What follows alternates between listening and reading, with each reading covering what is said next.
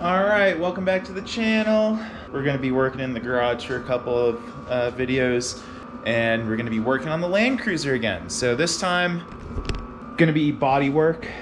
Um, you recall, way back over the summer, I started cleaning all this stuff up, sanded down the inside, cut out this rusty hole, and then, you know, I'm looking at the back doors, and we might just start working our way back to front, because why not? Um, cold out, don't have a lot of free time right now, but the weather's bad, so we're in the garage. I've said that a couple times. So today, we're going to um, start trying to make these back doors fit nicely. So um, the latch is kind of bent. Can't really get it all the way in. The tire is in the way, but this door does not move very well. That latch has seen better days. Um, we're probably going to cut this uh, stuff off and try to remake a new bracket that can fit in that hole.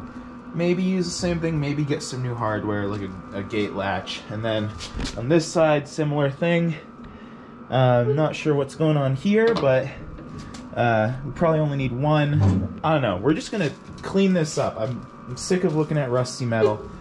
Start with the doors and then start working our way up to the front. Um, that's been nicked by something. If you look underneath, it definitely needs to be cleaned up. Not that you can really see it. The actual frame and underside actually is pretty good. I've got some rust reformer that I can spray down there when I get a chance, and then we'll take care of all this stuff, start sanding it. Doors will probably be last. I might replace the doors with uh, just some tube steel stuff, because I'm not, I mean, uh, I love the hardtop, this hardtop has seen better days, and it might not be worth saving, so we might do soft top only because it's going to be a summer truck. I don't know, let me know what you think in the comments. A lot of indecisiveness at the moment. You know, just trying to think of how can I get this thing on the road as fast as possible and start making content for my YouTube family. So, let's start with the doors. We'll get set up and right on into it. Alright, let's see if we can get this off using oh, this stuff. Uh, off to a great start. One second.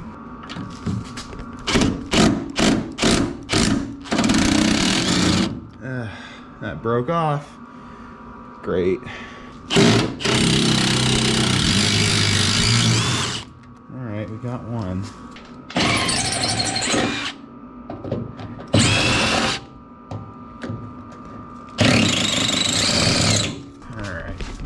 Back here.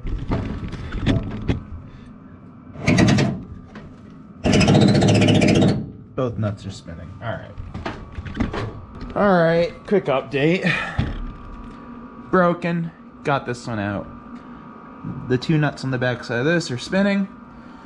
Broke that one and that one. The head's right off. And then these two are stripped. So, I'm off to a really good start with all of this. Let's see what we can do to get this door off. At least get the top bracket off. That'd be nice.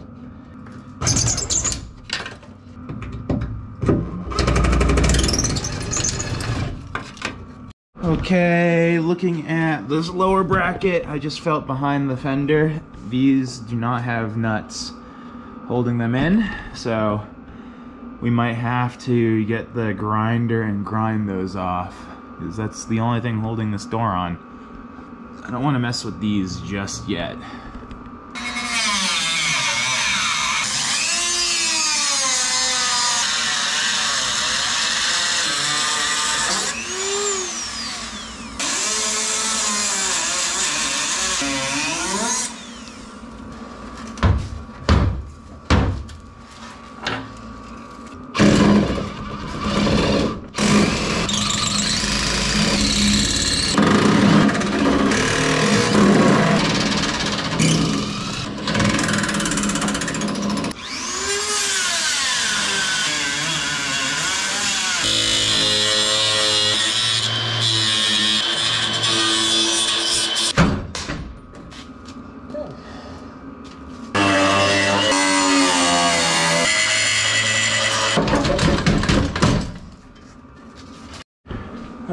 Alright, these things have seen better days. that's some old rubber. So we're probably gonna have to put on something new here. Clean it all up. Obviously, there's a lot of cleanup that we have to do, but at least the door is off. So that's a win. A lot of paint buildup here. That's a lot of Bondo. So, um, yeah. Got to process how to take care of that. So let's take care of the doors. Then we'll come back to this piece. Um, might end up cutting this out, putting in a new piece of steel just to clean it up.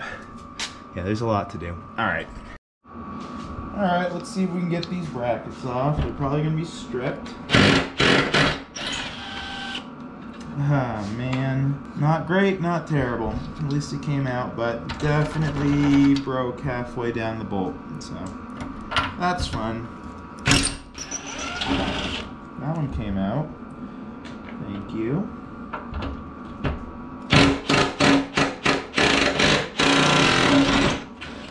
And that one broke too. Fantastic.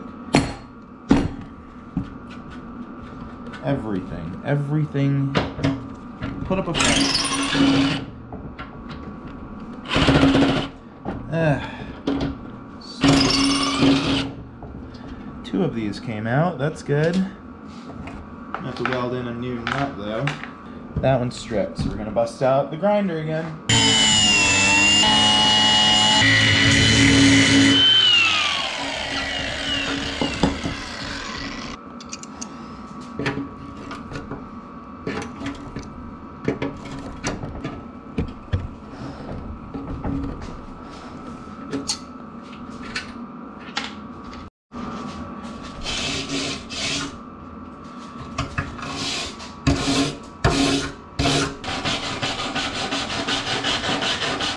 Face, decent.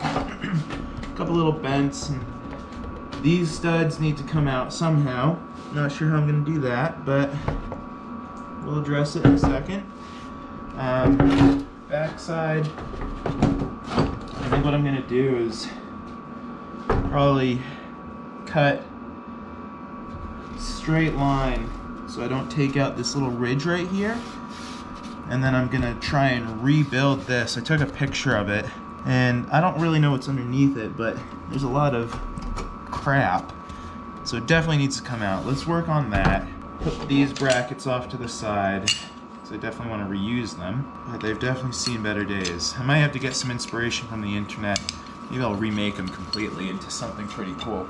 All right, let's uh, cut this piece off and have a blast.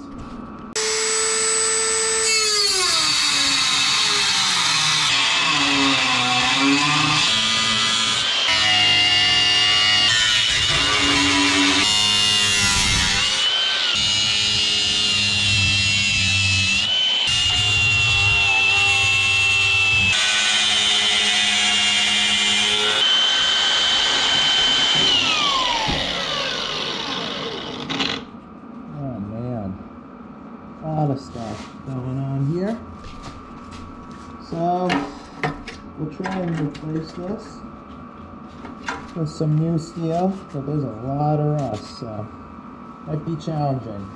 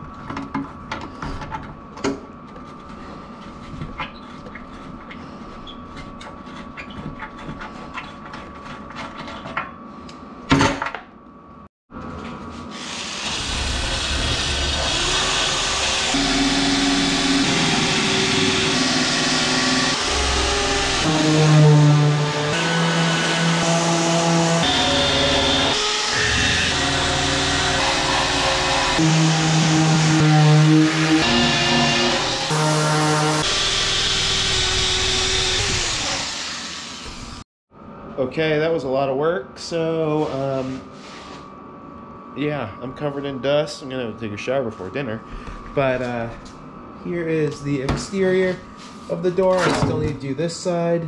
Um, I think for door number two, wherever it is, right there, I'm probably going to use some sort of chemi- chemical paint remover because this is a lot of work and it's messy and it takes so much time.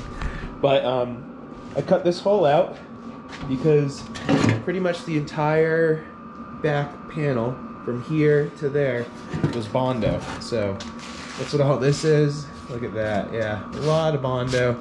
It's all over the Africa Twin now. The dust, not great. And there's a lot of uh, junk here, so I'm gonna have to bust out the welder, and the wire brush, and the rust reformer, and tack all these little holes back, all these pinholes. Um, yeah, uh, I might end up just cutting this whole thing out and doing something completely new, but not fun. Learning about the rust on these old things, and uh, yeah, whatever. All right, let's uh, you know, let's cut this piece out right here, and then we'll start working on the back and getting all the paint off.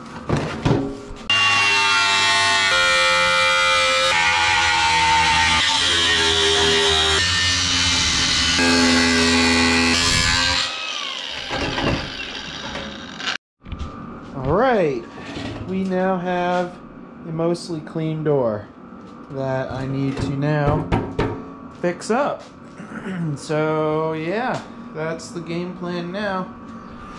I don't know how I'm gonna make this work, but I'm gonna try. So I've got some 22 gauge steel, same thickness as this stuff. I'm gonna see about hammering some of the bends out, and then I'm gonna try and box in that little area. Um, so that's next. All right, I'm gonna try and cover up some of these slash marks that I made, and then once that's done, I'll put some rust reformer on it.